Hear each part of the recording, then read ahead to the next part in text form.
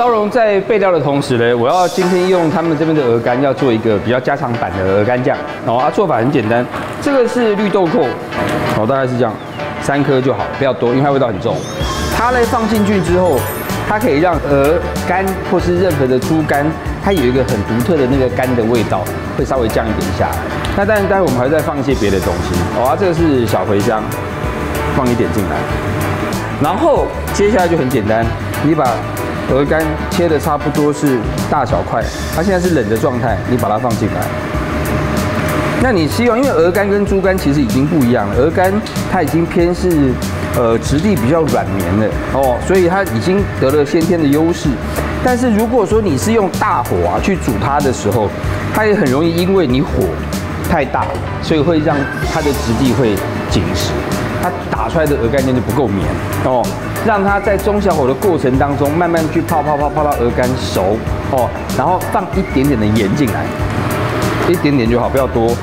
待会好的时候，我们把它拿起来，加上我们要的味道，跟奶油，跟这个牛奶，把它打成糊，它就是我们的鹅肝酱哦。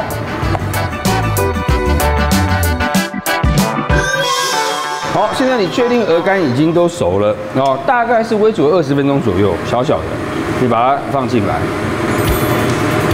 哦，很有很有弹性哦。好，全部都弄完了，那我们这边把盐放进来，因为毕竟鹅肝酱还是要带点咸度的，然后胡椒，胡椒要多，但是它没有没有胡椒，它比较容易有那个味道。那但是我需要一个滤网，要把里面这个滤出来。没关系，我把它放进来啊。这是刚刚的绿豆蔻，我还是希望绿豆蔻进来会多一些味道进来。大概大概的就是把里面我们刚放进来这些有没有？但是因为你要怕那个腥味汤上面的，还是把它稍微冲一下。好，这些小茴香放这边，把它拨进来，这样也是可以把那个鹅肝的腥味拿掉。好，奶油。如果你今天用的是外国买的那种鹅肝，它本身里面油脂已经很多了，可能不太需要做这件事情。但因为台湾的鹅，我们本身的油脂不太够，所以我们会我会在这边放一些奶油进来。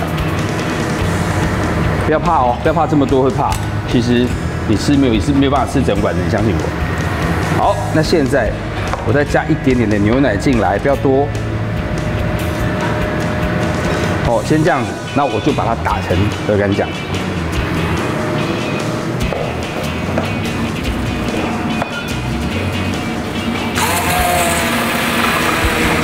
忘记了那个中国新香料给我一下吧。这个只是怕鹅肝的味道过重，你加一点这个呢，让它多一些味道出来，但也不要多，因为不希望它把鹅肝的味道给抢走了。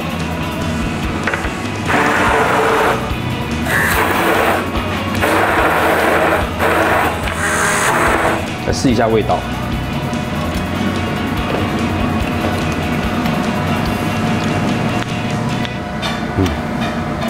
可以再多加一点牛奶，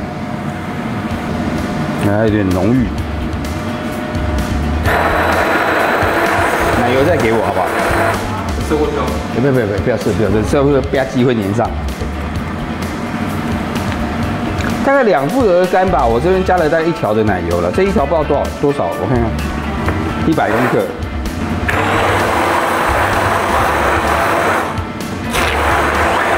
哦，丝滑感出来了。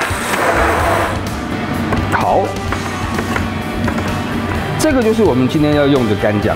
那你如果说你拿到这个的话，你要把它塑形，你就把它放在一个容器里面，或者放在锡箔纸里面把它包起来。你会发现，因为里面放了一百公克的奶油，所以它包起来之后，放在冰箱里面它会结成一块一块。早上你就可以把它挖起来，哦，然后当成奶油涂在面包上面，它也会非常好吃。哦，这个时候呢，嗯，鹅肝。哎，会龙给你喽。这个招荣啊，用蜂蜜、小茴香、绿豆蔻、胡萝卜汁、葡萄籽油、柠檬、胡椒做成的油醋酱，将鹅胸表面撒盐，调筋，用葱姜水啊，小火浸泡大概十五分钟，再把鹅胸煎到大约七分熟左右，再将做好的马铃薯沙拉一起摆盘呐，放上鹅胸，它就完成了。现在在这个哦这边算是东市。嘛，对不对？东市的地方，我们用你们的鹅胸，我们做了一道菜，让你们来试试看。哦，这个已经是煎到有点胭脂红的状态了。对，你们有吃到这么这么深吗？嗯，没有，没有。一般一般没有，一般没有。一般胸肉没有吃那么深，哦，其实胸肉吃这么深是特别嫩，特别好吃。真的吗？对。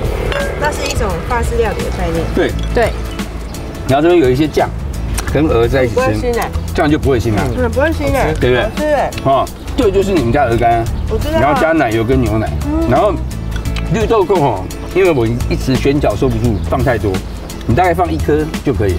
好，不然它最后回甘有一点绿豆蔻的味道。嗯，但因为我很喜欢这个味道，但怕有人如果不能接受，你就胡椒多加一点，绿豆蔻加一点味，道，没有什么味道。嗯，哎呦，那绿豆蔻炸薯油，